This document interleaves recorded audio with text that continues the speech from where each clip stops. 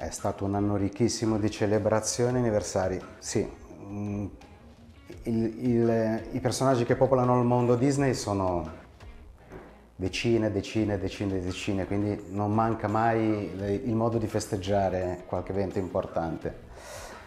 Abbiamo da festeggiare un papero l'anno prossimo, quindi eh, credo che mm, eventi importanti saranno dedicati al nostro amato Paperino, ma più che altro celebreremo come facciamo ogni settimana il nostro settimanale del cuore, no? con tante storie vi assicuro decisamente importanti, mm, dal taglio inusuale su cui sono a lavoro artisti di grandissimo livello. Se posso fare un nome, per esempio, un paio di nomi tra i tanti, Motura e Bigarella stanno lavorando a un progetto molto importante che credo che vedremo presto, ma siamo sempre sul pezzo, eh? quindi credo che il 2024 sarà ricco di, veramente di continuazioni di serie che abbiamo già visto nell'anno precedente, ma anche di, di nuove importanti sorprese. Poi tantissime variant, ma quello lo sapete, le vedremo presto, insomma. Ormai il 2024 è alle porte, direi.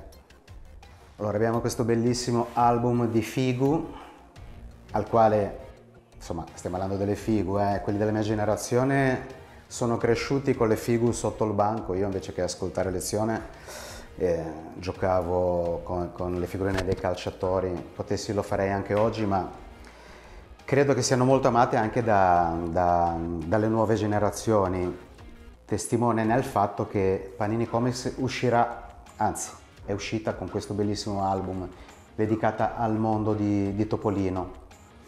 Mondo di Topolino inteso come la sua interezza, eh, quindi le storie dei suoi personaggi e del suo mondo, e del suo mondo fantastico, il titolo recita così. È stato un progetto impegnativo che ha coinvolto sostanzialmente tutto lo staff creativo di, eh, dei collaboratori di Topolino, sceneggiatori, disegnatori, coloristi e contiene parec- parecchie figu speciali, eh? per cui per esempio io eh, ho realizzato una serie di card, credo che siano circa 24-25, scusatemi non ricordo il numero esatto, ma un, sono imbustabili e hanno un effetto mm, diamante sotto. Trovo sono, che siano molto ben riuscite, anche la confezione quadrata e il taglio così inusuale, quasi quadrato, lo, lo trovo particolarmente carino. Mm, insomma, è un'edizione eh, che si percepisce avere un taglio non solo a, dedicato a, ai bambini, ma anche probabilmente a, ai lettori che, che amano questo tipo di mondo, cioè lettori con qualche anno in più, compreso il sottoscritto ovviamente. Come avrete visto recentemente su Topolino è stata pubblicata una cover dedicata a Steamboat Willie.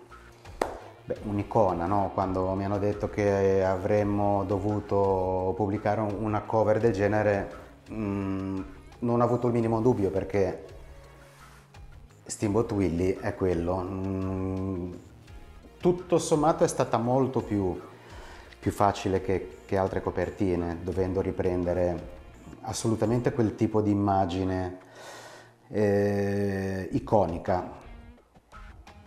Per cui, se devo dire la verità, ho preso un frame preciso del, de, dell'animazione e ho cercato di riprodurlo in modo assolutamente fedele, con piccolissime modifiche giusto per adattarlo alla nostra gabbia che ha un formato verticale e, ehm, con Mario Perrotta e con la redazione poi si è pensato di dare a questa copertina un, un, ovviamente un, taglio retro.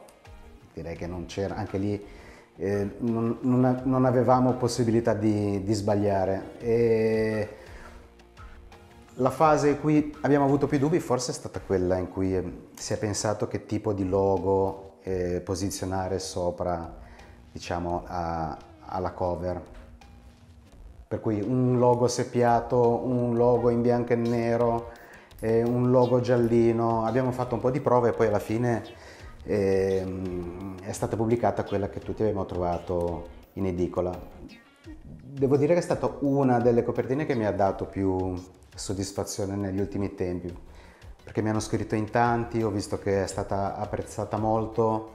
Dieci anni fa disegnai una 4 ante abbastanza innovativa e mm, aveva un formato abbastanza particolare che era quello che ritroviamo qui. È passato un po' di tempo, sono passati dieci anni, quindi l'editore e il direttore Alex Bertani ha pensato bene perché non proponiamo una copertina simile che rappresenti per noi un, un traguardo importante. È stato un invito a nozze un po' perché amo le immagini molto complicate e un po' perché ero molto affezionato alla copertina che disegnai ormai qualche anno fa. Quella è quella che adesso potete trovare qui a Luca Comics e nelle fumetterie, insomma. Ehm, credo che sia molto ben riuscita anche grazie a questo alla superficie, al background opaco e ai personaggi lucidati. Poi insomma abbiamo cercato di posizionarne il più possibile, eh, proprio per omaggiare vecchi personaggi che amiamo tutti e magari qualche personaggio che ha avuto um, le luci della ribalta in tempi un pochino più recenti. Potrei raccontare un sacco di aneddoti curiosi su questa copertina perché ho dovuto disegnarla praticamente su questo formato per evitare poi brutte sorprese in fase di stampa e, e poi perché se avessi disegnato più in piccolo avrei dovuto realizzare delle miniature, quindi sostanzialmente l'originale è, è, molto grande ed è stata una piccola guerra cercare di, di trovare una composizione gradevole su, su, che si sviluppasse su, su quattro su quattro copertine fondamentalmente. Qui arriviamo in fondo, abbiamo una partenza diciamo standard, siamo partiti da, da dei personaggi che potessero essere insomma, attrattivi, quindi ovviamente Topolino, Zio Paperone, Gastone che è un, un simbolo di for- portafortuna, qualcun altro ma e poi aprendo l'immagine insomma eh, direi che esplode in tutta la, la sua baraonda fino a, a terminare concettualmente con, con, Archimede che scatta un selfie a, a, tutto il gruppo. La curiosità è che in fase di bozza io sono arrivato su, su Archimede, no? avevo sviluppato tutte le parti, poi mi rimaneva quest'angolino che ho detto cosa come potrebbe svilupparsi la dinamica e ho disegnato Archimede che si scattava un selfie, no? mi sembrava trendy, tutto sommato simpatico. Quando Alex e, e i ragazzi della redazione hanno visto eh, questo tipo di azione, hanno pensato bene che tutta l'immagine dovesse in qualche modo raccontare questa sorta di selfie, no? nemmeno questa sorta, questo selfie di gruppo quindi ho dovuto riruotare tutti i personaggi, rendere le, le azioni plausibili. E, um, questo per dire insomma che, che, dietro c'è stato tanto lavoro, tanta cura, tanto amore e ho visto che è stata apprezzata anche da, dai lettori. Eh. Mm, veniteci a trovare che ne abbiamo parecchie qua a Lucca. Topolino è un personaggio che si sa adattare perfettamente a qualsiasi, a qualsiasi situazione e a qualsiasi tempo ma credo che sia la forza di tutti i personaggi del mondo Disney. Eh? Riescono a passare gli anni adattandosi agli usi e ai costumi de, mm, del caso. Una rappresentazione plastica, il topolino di oggi che racconta storie eh, che sono adatte a, a, diciamo, a un lettore del 2023, ormai quasi 2024, e tutto sommato amabili anche da, da, da, lettori che hanno iniziato a leggere Topolino anche 30-40 anni fa, come il sottoscritto. Topolino in primis, ma tutti direi che sono personaggi senza tempo. I mondi di Topolino sono infiniti come le sue collaborazioni. Eh, abbiamo avuto la fortuna già l'anno scorso, mm, quindi non è una novità di avere con noi Licia e devo dire che ha partecipato con un entusiasmo incredibile, come spesso accade quando si contattano scrittori, ma anche disegnatori che provengono da un altro tipo di, di, di narrativa o di ambiente. E sembrano conoscere questo, questo mondo come se mh, ci fossero quasi nati, no? Non so perché è una magia, forse quella Disney che, che abbiamo culturalmente dentro di noi da, da, da generazioni ormai tutto sommato. E, um,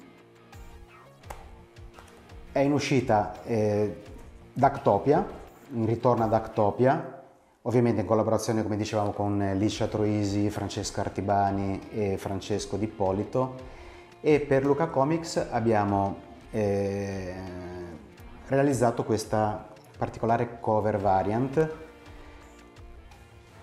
per la prima volta abbiamo utilizzato un effetto, diciamo, cornice, per cui abbiamo questa, la prima di copertina un pochino più rigida e poi sotto, aprendo, troviamo un effetto metal, secondo me molto carino, con diciamo, una sorpresa inaspettata perché in prima i nostri sono piuttosto tranquilli, poi incombe una minaccia eh, che ben conosciamo. Eh L'effetto metal credo che insomma sia sempre uno dei, è uno dei miei effetti preferiti. La vedo oggi anche io per la prima volta perché siamo corsi in stampa e abbiamo portato giù eh, tutto il materiale a Lucca. Mm, che dire, la storia è molto movimentata, assolutamente particolare anche nella sua colorazione perché Di Polito che si è occupato diciamo, del, del disegno ha passato le, le parecchie ore a um, cercare di, di, offrire qualche cosa in più um, sul, sulla storia. Mm, credo di dover ringraziare Licia Troisi a nome dell'editore ma anche a nome di tutti i lettori, eh. la incontreremo poi presto qui a Lucca.